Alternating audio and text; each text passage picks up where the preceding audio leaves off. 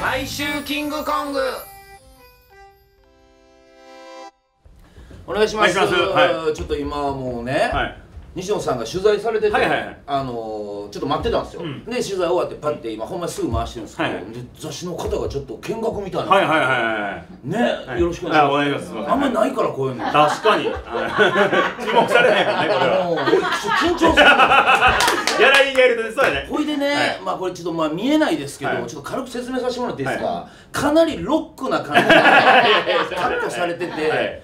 なんかね、はい。イメージ言っていい、はい。あのテレ朝の梶さんみたいな ちょっとなんかセンスある感じはいそれはわかんねえ。こんなん言うのあれですけど出てってもらっていいですか？そうなんですよ。あの梶原さんはね、本当身内以外がでいるとやっぱ力が出せないから。なんかさ気にな家るやん族とね、家族とね、でスタッフも仲いいスタッフじゃないと。じゃないとダメ温かいところでやりたいからそうそうそうそう。冷静にお笑い見られると面白いこと言ってないんだよ。言ってないからなんか俺が今日喋った時に 逐一こうやってもらう俺こうやって俺こうかなって力出せないんだとそれは。ちょっと今日は面白くない回になっちゃいますが。失礼いたしました。本当によろしくお願いいたします。普段はもっと面白いです。普段はもっと面白いです前回の見てくださ、はい。い、前回は面白い。えー今回は外れ会というこですけども、まずねちょっとこれもうびっくりする話しますよととはいえ。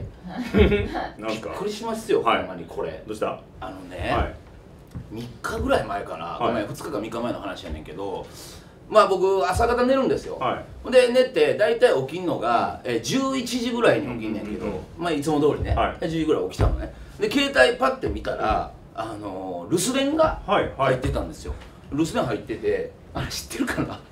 留守電入ってたんですね。ほいてあ誰やろうってパッて見たら西野の母ってなってるんですよで僕西野のお母さんの連絡先知ってるんでもう登録もしてますわ。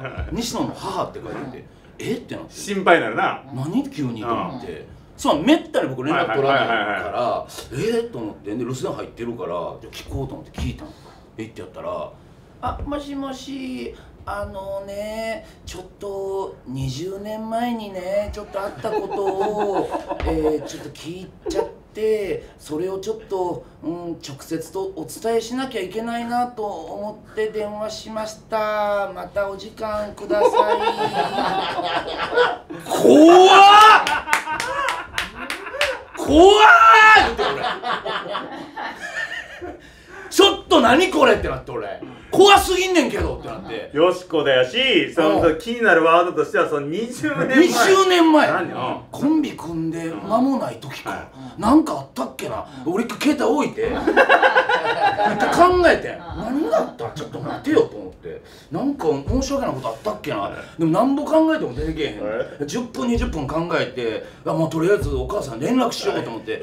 お母さんに電話してバックバクやんかブルルブルガチャって。もしもし。あもしもし。すいませんお母さんあのお電話もらってたみたいであの留守電聞かせていただきました。ああ梶原君ごめんそれ間違いでないねえー、何その間違い電話。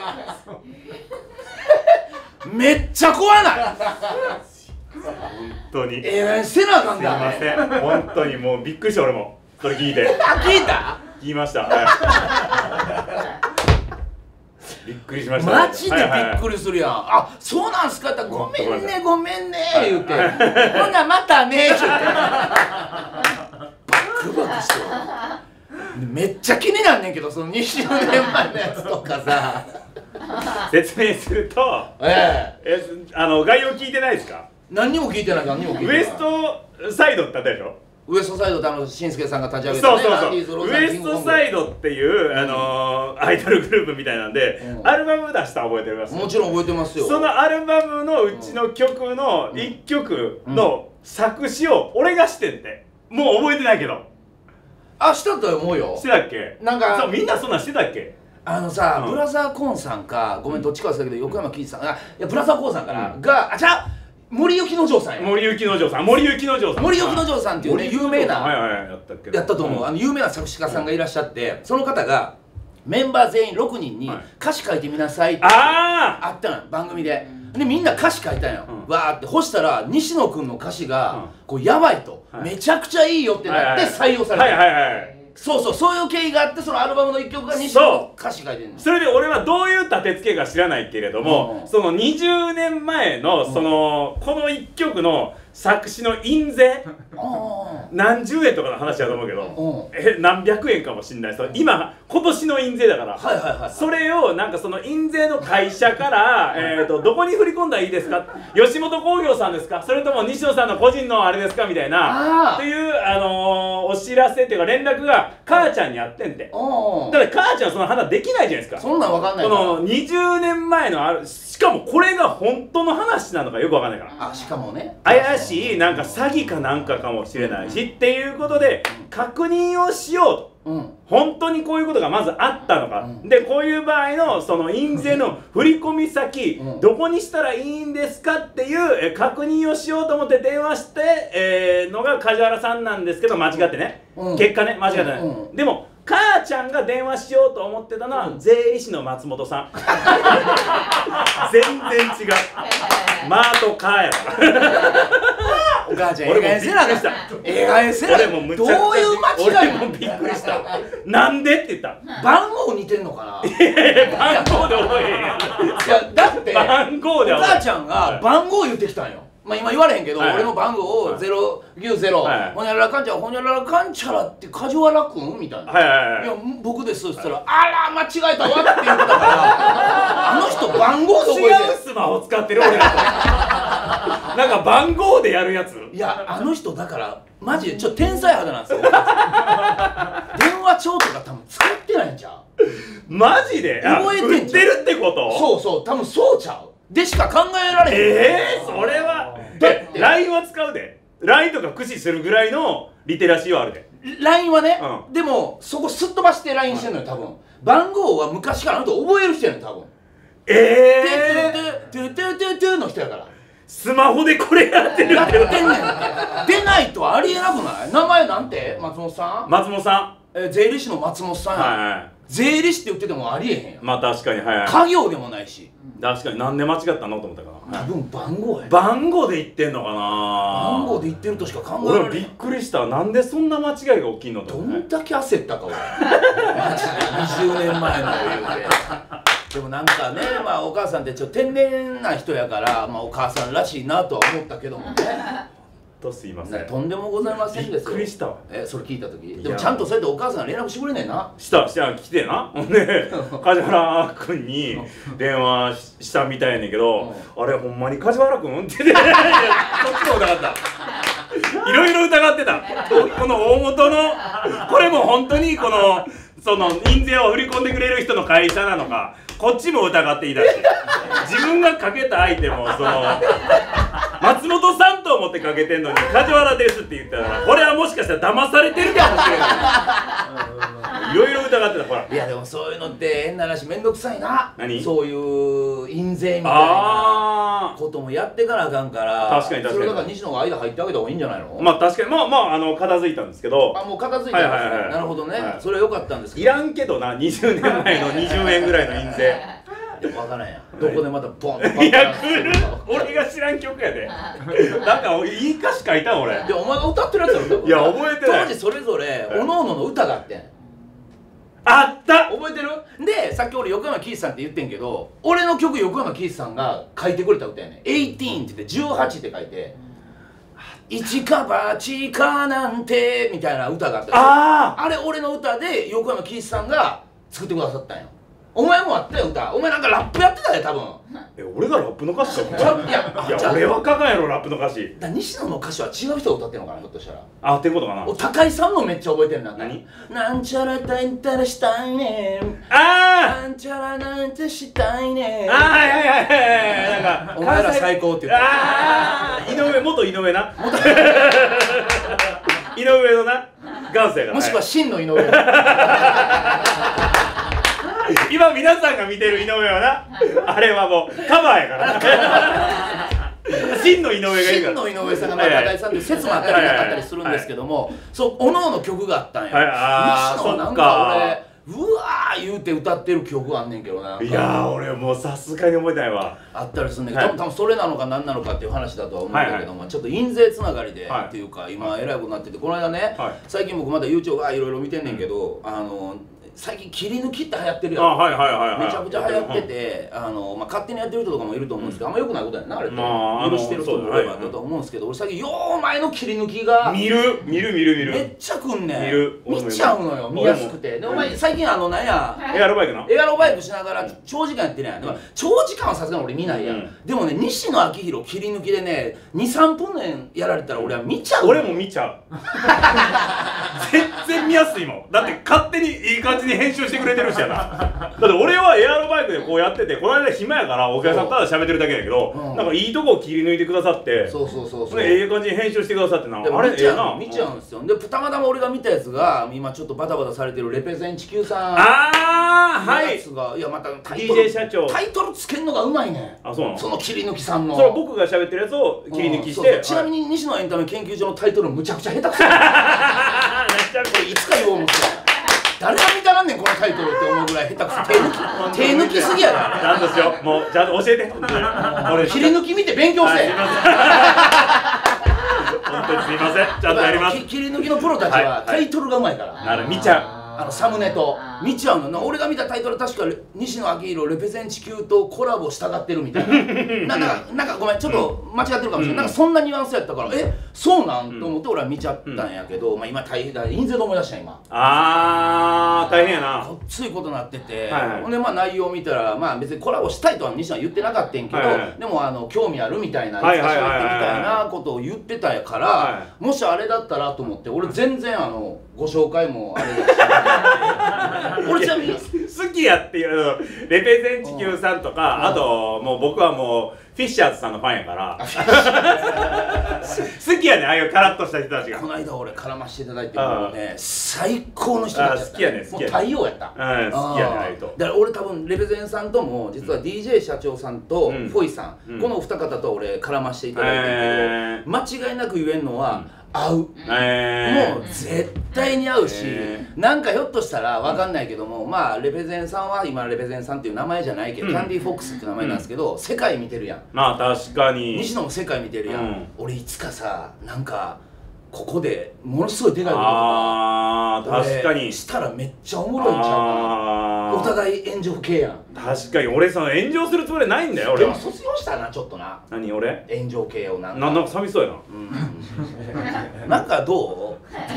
なんか上行っちゃったよねなんか。炎か炎届かへんとこまで行ってる。感じせんな。んかこのままこのまま浮かんでいって燃えてるはずは燃えてるはずやもん。燃えてんねんけど。それむっちゃ言われんねん。なんかうん。なんかそれそこのあのなんだ温度差というか炎上してるやんとか燃えてるやんとかあれに関してどう思うのとか言われんねんけどほんまに気づいてへん時やんせやろ。そなんか寂しいよなそれ。ちゃんと熱がってほしい。うちゃんとなお尻ぐらいはやけどしとかないと。ちょっとやけどしてあー怒れへんなって思ったからあんまり、に確かに、まあ、当時から怒ってはないか。らうん。無視はしてたから確かに。そこは届いてない感じはものすごくするな。確かに。でもレベゼンさんね。そうそうそうあそう。もう絶対俺いつかなんか西野とやったら絶対おもろいことになるんちゃうかな。いやーあれ辛いな。辛いよ。まあ難しい話やからさ俺よう分からへんねんけど。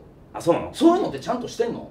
してる。要は簡単に知らない方のために言うと、まあ、株の問題みたいなことだけですよ、うん。まあ、詳しくは知らないですよ、うん。でもある人がいてちょっとまあ騙されたじゃないけども口約束してたことがちょっとむちゃくちゃなって思って、はいはいはいはい。結果ちょっとわーってなってんねんけど、うん。その株ちゃんとしてんの？してる。あそこはちゃんとしてんの、うんむちゃくちゃしてる。あれだから、うん。えー難しいな。なんかもう結論から言うと、うん。毎週。あの裁判しても、あのま毎週。高確率で。あそれはやっぱり株ってやっぱそれほどってこと？うんそうだね。やっぱえー、っ とそうだね、うん、話しづらいなこれな。まあ 僕は全然喋れるけど、うん。なんかでただそのこれでなんかなるの嫌やもんな。まあそうただあの悔しいのは、うん。あのその裁判の勝ち負けと、うん。人としての良し悪しってまだ違うとこやんか。そだそこはな俺なんか DJ 社長さんのうん。気持ちもグッと入っちゃうねん。なんかもうそんなやめてあげてと思っちゃうねん。そうね、うん。だからまあ結果がどうあれ、ねまあおそらく、まあ、例えばじゃあ負けるにしても、で権利を失ったとしても、うん。キャンディーフォックスとして今はもう世界へ向けてはい。頑張られてるから、はい。はい。はい。そこの損失はもう多大な損失だと思うけど、うん。やっぱり俺あの動画自体、うん。俺もう全部見させてもらったんやけどファンの方々に向けてだから、まあ確かに。人としてというか、うん。っていうところでいくと評価は上がるやろうな。まあ応援してもらえる。だから応援もそうやし、信用もできるやろはいはいはいはい。だから俺はあれは良かったんじゃないかなって、確かに確かに。やっぱり俺詳しくないけど厳しい戦いになるんやね。知らんから。俺株持ったことは株くれよお前の株。いいよ。これあの本当に感情一切抜きね。うん感情一切抜きでいや俺は100まずだスタンスとしてうん。100%DJ 社長を応援するっていう側なんだけどその感情一切抜きにした時に一切抜きに一し切抜きにした時に6000万円の借金を背負っているアーティストのうん。会社にうん。100, 万100万円かな？うん。100%出資するってうもう張り方としては天才すぎるからえそうなんいややっぱそれそこ出さないの普通。そもそも。え6000万円の借金持っているアーティストに100万円出す。いや普通に考えたらさねんけど、例えばなんかそのえ、まあ、A さんとしましょうか、A さんがあの DJ 社長さんの才能に惚れ込んで、博打したみたいな感覚かなとは思うねんけど。それで100万出したら、うん。当然やけどこの会社の権利、うん。どんだけ言おうが全部その A さんのもんや。っていうことなんだそうやねもうこればっかりはそういうルールやからそれはもう曲げれないから。負けれない。そこは。だから悔しいねん俺。もう絶対どうしようもないんだ。絶対どうしようもない。怖い話だからそこはやっぱりあれなんやけどうん。とはとはいえななんかだからといってちょっと辛いけどな。そうね、だからどういった形で今後そう裁判も多分行われるんやけども、またでも一回ああやって動画で配信したってことはまたいずれね。まあ確かにもう僕はもうあの例えば仮に負けたとしても、は裁判に負けたとしても多分真実を伝えてくれるやろうはいはいはいはい。確かに。うん失っうん。失ったものはまた帰ってくるでしょ。キャンディーフォックスで。キャンディーフォックスですよ。もう僕はファンになりますよもうキャンディーフォックス、ねはい。ただあの人またちゃうとこでも炎上すんねん。あそうなの？そうやん。それこそ新しい曲出した時すぐ炎上したやんあそうなんで？そうやねん。えー、と確か曲がね、うん。ちょっとちょっとインドの曲をはい作ったんだけども、それの、えーミュージックビデオがちょっとこれよくないぞってはいはいなって、結構バーって燃えてた、えそんのよー。な、これ難しいとこやな。えー応援しましょう。でもキャンディーフォックスさんのライブ行こう。2人で。行こそうしよう。で応援しよう。2人う応援します、うん。俺たちはキャンディーフォックスを応援します。そうですよ。練習してんもんね。そうそうですよ偉いもんやねですよ一年半漫才やってまへそろもんやうんの呼吸やそれで言うとさ、うん。その炎上じゃないけど、うん。俺ちょっとこれん。物申したいというか、えあのー、問題定義をちょっとしたいんだけど、え毎週キングコングのうん。コメント欄の、うん。梶原さんへの当たり強ないですか？そうやんな。めっちゃ強いねなんか俺先週のちょっと見させてもらってむっちゃ評判悪いで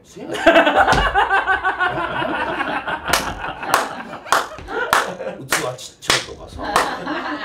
なんでなん？中野くんの話してもさ、はい。なんかむっちゃ怒られるしさ、は俺が、はなんか一部にこっち嫌われてむっちゃ評判悪ない？ほんでお前の評判めっちゃなこっち愛されてるんよ俺。昔結構ええ感じで嫌われてたやん。ああの接戦だった？接戦やって、はいはい。コメントで言うたら西野も調子の女みたいな、はいはい。ええ感じでバレてなかったけど、はい。最近もうお前の評価がこんなんなってるなんでなんだ言いやすいんやろあ言ってあもアホやん言うても、うん。あなた頭いいでしょ、うん。あなたに言ったところでそれこそ届かへんと思ってんねん。ああなるほど。お前上におるから。こんなんしてるここんなんで上におるやん。こうなってるやん上 蒼天航路のそう。諸葛孔明あのなんかこのわかる？なんか岩の上こう。飛んでるなお前。蒼天航路の諸葛亮飛んでるやないかい諸葛亮君飛んでんねん。俺。びっくりしたもんそんなそんな諸葛亮初めて見たから。俺はでも常に候補やんもう地面にずっとついてるやんかどこかが。と届いちゃうの。当たり強いででもあれ。こう言われてる感じすんねん俺。確かに優しくしてもっと。お前に言うてる人はこう言うてんねん。ああなるほど。おい調子乗んな確かにはい。な？俺にはこう言うてるから。確かに。感じがすんねんけど。でも俺はね、もう前前前も話かもしれんけど、変わったから変わりましたよ、あのー、ほんまに腹立たへんし、ほんまうん、ほにんまにな。むしろ本当にありがたいよね。あなんか言われるのがありがたい。いややっぱありがたいと思って腹立ったりしないんですか？よっぽどの俺に対してのことやったら俺ほんまもう腹立ってる例えば俺じゃない家族だったりとかああなるほど。ゲストの人にとか、なんか俺と絡んで損は絶対させたくないでやんか,、だから俺そういうコメントは消してありますね。ああなるほど。人に来たやつはチームスタッフには全然 OK やけど、はいそうそう家族とそうゲストの方への誹謗中傷は俺絶対消すようにして俺個人的には俺ほんまにもうマジで腹立たへんなったんちゃうかな。あそれで言うとしつこいのは腹立つよ。何？毎度毎度言うけど宮迫さんのことだったりとかであの何も知りもせんくせに、はいはい。吉本の厚手とかさそれがもうずっと続くと鬱陶しい。なるほど。それは腹立うん。つさすがに。じゃなくて単発のお前器ちっせえなとかは全然へえ腹立たへんなったな。嬉しいな、まあ悪口を言うよりも言われる方がっていうやつね。はっきり言ってね。悪口は言うよりも言われる方が楽。深そうで浅い話。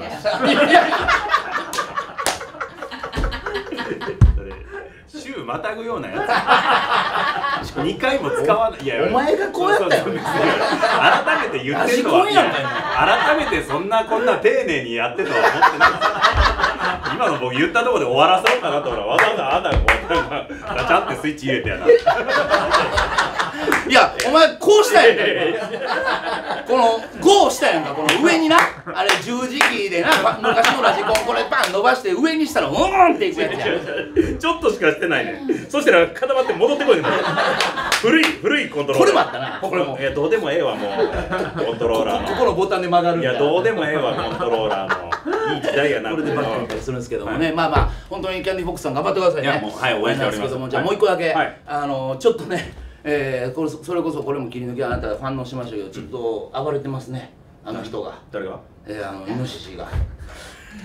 イノシシがなんかもう一匹で縦横無尽に野原を暴れてましたよ。ブルブルブルブルと。誰かを引きつけるわけでわけでもなく一匹でバーンぶつかって強い。バーンぶつかってやってたね山で食べるもんがもうないから。ないから。街降りてきて。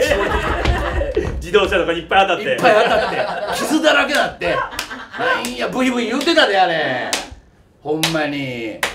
まあね、あればっかりはね確かに語弊があったかもしれないな俺たちの。反省しましょう。あのーもうちょっと細かくだけ言わしてよ、うん。なんかまるであれの動画を見たらさほんま俺たちがさありもせんことをうん言ってるみたいな。確かに確かに。うんなってたけど、うん。いやそうじゃない。そうじゃない。俺たちはうん。知ってるから、はい。あのー細かい話やけど、うん。過去の昔のつっつんほんまにそうやったから。そうやねん。なんかあのー、つっつんのあの僕見させていただきましたよ、ええ。あれなんかさもうん。キングコングの2人がうん。ゼロから創作でやったみたいな。そうそんなことない。印象操作や。そうほんまに。あのー、そもそもの素材はありましたよね。これこれでウホウホやってましたよやってたもん。これはこれは作作ってない。全然作ってない。もともとそうだったよね。もともとそうだったから。それだからにちょっとね乗せただけの話で。ちょっとそうだからまあ乗してしまったのは事実。だったらあのイノシシは、うん。あそこの会見じゃなくてまあ一人でやってたけども、あっこで言うべきことは昔の俺はそうでした。で言うよこれ言わなあねかんねん。これ言ってたら OK 言わんとい俺らが嘘ついたみそうたいな。そうそうあれ心外やな。あれは侵害ですね。裁判しようかな。いやあれは本当に裁判しましょうよ。お金いっぱい積んでいい弁護士つけて。裁判しましょうあれ心外やな。あれちょっと侵害やな思って。謝罪してください。あの多分イノシシ見てると思うんであの先週のあのやつに対してあなたが100%間違ってるんだから。だってごめんなさいね。これはこちらに非があったんだったらそれはなあの謝りますけれども、はねこっち別にゼロから作ったわけじゃなくて事実を伝えた上では言っただけなのになんかあれだけ切り取るとじゃああなたのねファンの人たちからキングコング悪いやつやみたいな。はもうこっち大変なんだから今もう誹謗中傷でね。いコメント来てます。はい。僕にだけ。僕が傷ついてるんです本当にそれはちゃんと謝罪して。それだけちゃんと謝罪してください、はい。ほんまに。過去のあなたはちょっとそういうとこありましたからあまるでなかったみたいな。ゼロ一をやってるみたいな感じみたいな感じでしたからそれだけは本当にお願いします。ゼロはやゼロ一はやってないです。やってないです。僕たちやってないです。やってない。一応ちょっと大きめに。そうです。一応12しただけで。10というか70ぐらいにしただけの話で。それやりましたよ。ちょっとそだけど1はあったから。うん。その位置を見てもってほしい。そうそうそうそうそうだからあのイノシシが嘘ついたんだからこれに関しては。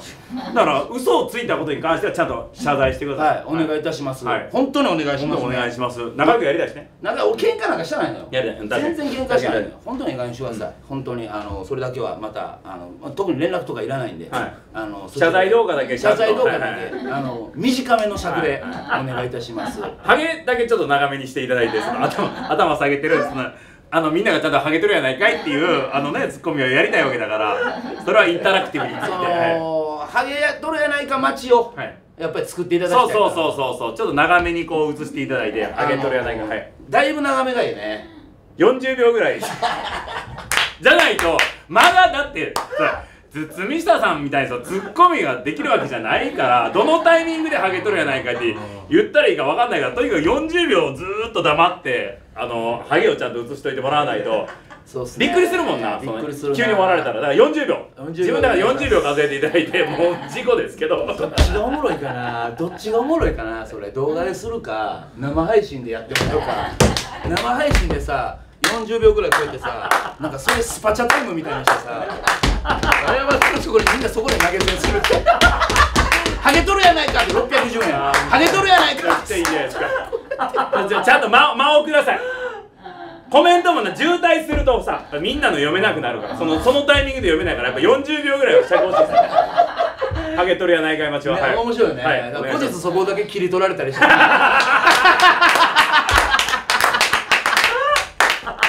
切り取り動画切り取り動画で。ここだけ切り取られてる。前全然我慢なんもないなんで頭下げてるか分からへんしだって視聴者全員ハゲとるやないかって言ってる切り取り動画やりましょうよ。これちょっとぜひぜひお願いします。ありがとうございます